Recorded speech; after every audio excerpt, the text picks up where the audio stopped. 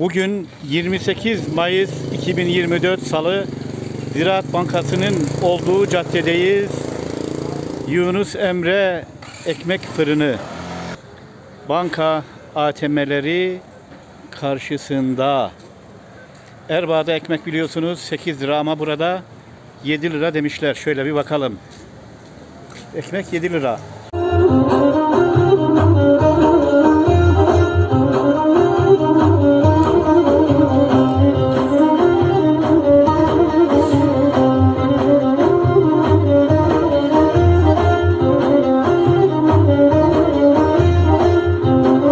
Evet Yunus Emre Ekmek Fırını'ndayız.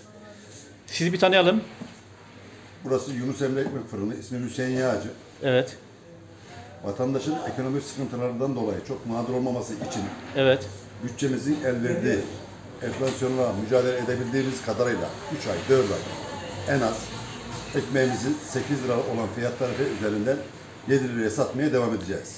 Herhangi bir büyük zam gelmezse una ya da Aşırı bir zam gelmediği müddetçe yılbaşına kadar bu satışımız bu fiyat üzerinden devam edecektir. inşallah diyelim. İnşallah Allah'ın izniyle milletimize yardımcı olup ekonomik sıkıntılarda bir nebze de olsa şerbet olabilirsek elhamdülillah bizim için de faydalı olduğumuz için ne mutlu. Teşekkürler. Rica ederim.